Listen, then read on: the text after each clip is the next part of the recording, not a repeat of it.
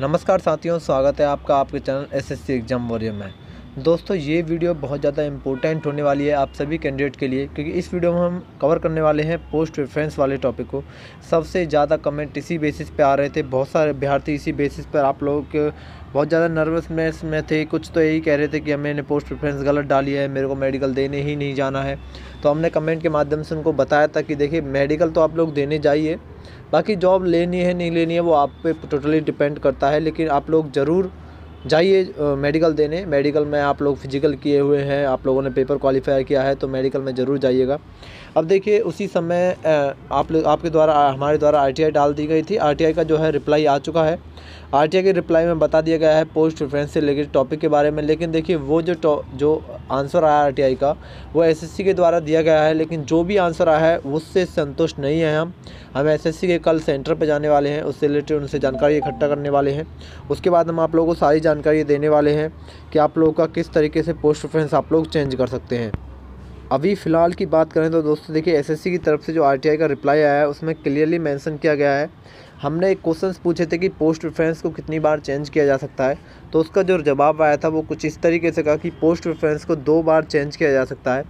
Number one तो आप लोगों को फॉर्म अप्लाई करते वक्त और नंबर टू उनके द्वारा बताया गया था डीबी के टाइम पोस्ट रेफरेंस चेंज हो सकती है। लेकिन दूसरा क्वेश्चन पूछा गया था कि जो हमारे डी चल रहे हैं, उसमें पोस्ट रेफरेंस नहीं चेंज हो रही है। जैसा कि ये जवाब उनके द्वारा नवंबर में भी दिया गया था, नवंबर में हमने आप लोगों को वीडियो के माध्यम से बता दिया था, और वही सेम जवाब इस बार का आप लोगों का आया है, चौदह तारीख को जवाब आया है, ग्यारह तारीख को आर लगाई गई थी।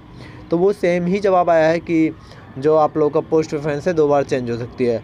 लेकिन जो दूसरा क्वेश्चन पूछा गया था कि डीवी में जो आप लोगों का पोस्ट रेफरेंस चेंज नहीं हो रही है, उसका उन्होंने कोई जवाब नहीं दिया है। दोनों का मिला के उन्होंने एक जवाब दे दिया है। बल्कि उनको दूसरे क्वेश्चन का भी आंसर देने थे।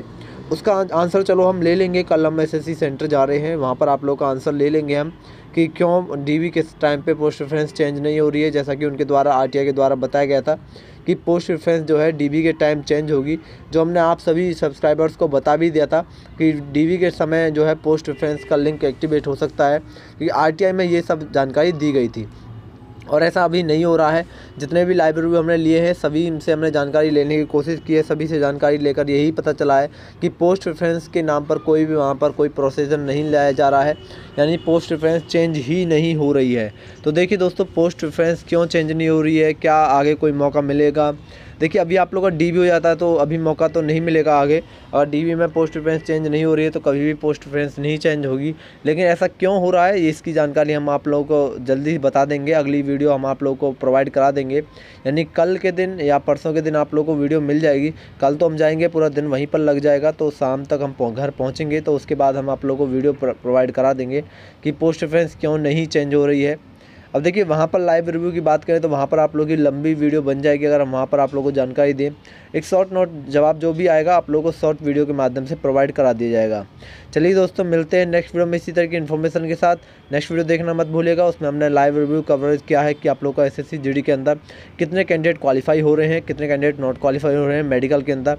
क्या दूसरी लिस्ट आ सकती है? कट ऑफ़ बढ़ सकती है तो कितना बढ़ सकती है? ये सारी जानकारी उस वीडियो में दी हुई है। चलिए दोस्तों, मिलते हैं नेक्स्ट वीडियो में इसी तरह की इन्फॉर्मेशन के साथ। जब तक के लिए धन्यवाद। जय हिंद, जय भारत।